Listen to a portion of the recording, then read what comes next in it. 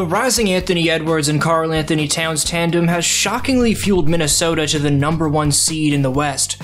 Against the Pels, KAT joined reigning finals MVP Nikola Jokic as one of two players over the last 40 years with a stat line of 25 plus points 5 plus boards, 5 plus dimes, 0 turnovers, and 90 plus percent shooting. Towns doesn't get enough respect for being the center position's all-time leader in three-pointers made, while having significantly less games under his belt than anyone ranked in the top 5. The first overall pick out of Kentucky back in 2015 missed the playoffs in 5 of his first 6 pro campaigns, but with Edwards as his number 2 option in 2022, who then developed into the first option last year, Ants and KAT have led Minnesota to consecutive playoff appearances entering 23-24. Many were skeptical of the Wolves forming a massive front court with Towns playing the tall ball 4 and former DPOY Rudy Gobert at the 5 when they traded for the Frenchman last summer. A year later, and the Wolves have conversely this season forced opponents to adjust to their size. If they can sustain winning habits, they have the chance to transcend the current small ball era. Stick around for the key to the Wolves' chemistry keeping up, whether or not their start's a fluke, and a lot more. But just 9.8% of you watching are subscribed, so if you're a Hoop fan, make sure you hit subscribe. Under coach Chris Finch for the third season, Minnesota continues to get progressively better defensively. They were number 13 in 21-22 defensive rating, number 10 the next year, and this season they've catapulted to number 3 in that category. While they've established a defensive identity this year, the Wolves are still bottom 7 in offensive rating, which leads you to believe there's room for improvement. Scary considering they lead the conference despite that lack of bucket getting. That said, if Finch's system can produce more well-rounded showings from KAT like he just had in the Big Easy, the Wolves' offensive efficiency would vamp significantly and make them that much more deadly for the opposition. In New Orleans, Towns displayed that he can be a top playmaking center in the flow of a well-orchestrated offense. Out of this floppy action where Edwards gets the McDaniels swing, a give and go with Towns netting the assist sets up an executed handoff screening action with Edwards draining the baseline J. Elite entry pass from Ant right here avoids the reverse seal of Herb Jones, forcing Valanciunas to rotate and leaving Gobert open in the dunker spot where KAT intelligently extends over Jonas before letting go of the 4-5 lob to Rudy. High drop step on the skinnier Dyson Daniels is followed by Towns elevating into his layup to draw the Valanciunas rotation before Towns wraps around a midair left-handed dime for the Edwards right corner triple. The early facilitating from Towns allowed him to get one-on-one with defenders and opened up space for him to muscle his way inside. Again, a high drop step sheds a Pelican like my career on pro difficulty, and Zeller's hesitant to jump for the block with the threat of another elusive pass.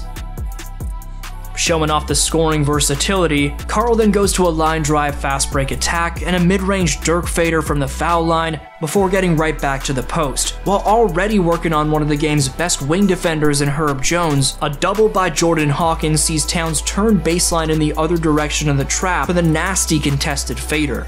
The all-time great center three-point shooting factored in to kick off the final 24 minutes, but after a couple triples, Karl got right back to dishing it, curl cutting to the elbow for the Milton entry and spotting Conley for an overhead kick to the corner, then baiting Herb Jones with an up fake followed by a lefty attack and thread the needle lob to Gobert. The evolving chemistry, floor space, and trust between Minnesota's duo of the future then began to take over. Towns would set up Edwards with three dimes, the last of which out of this pistol action with Gobert setting the flare, then Towns up faking and swinging it.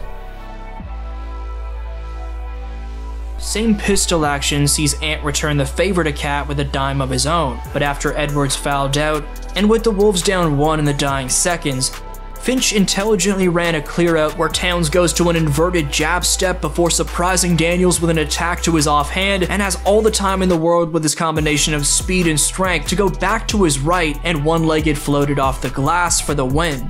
The Wolves did take a road L to Kevin Durant and the Phoenix Suns before that New Orleans matchup, but prior to that Phoenix loss, racked up consecutive wins over Golden State. To be fair, that's not saying much right now, given their rising West counterpart in OKC, who we could talk about in a separate video, just did the same thing. But in one of those doves over the dubs, a member of their coaching staff still had the focus to tear up his players at half, even when leading by four. According to Edwards, assistant Elston Turner cussed out the team at half, which is the type of accountability that's going to keep this Minneapolis ship chugging. Another key factor behind the success for the Timberwolves sustaining itself is Rudy Gobert staying composed mentally by using his experience of leading a number one seed in Utah properly all throughout both the rest of the regular season and into the playoffs. That'll be a major key to the Wolves keeping their chemistry intact, fueling the Wolves to a top three defensive rating by being the elite backside rim protector that he's always been is a good start as Rudy's fourth in swatted shots just behind Victor Wembanyama as of this recording. But can Gobert maintain this type of winning impact over the course of the 82 game grind and into the playoffs?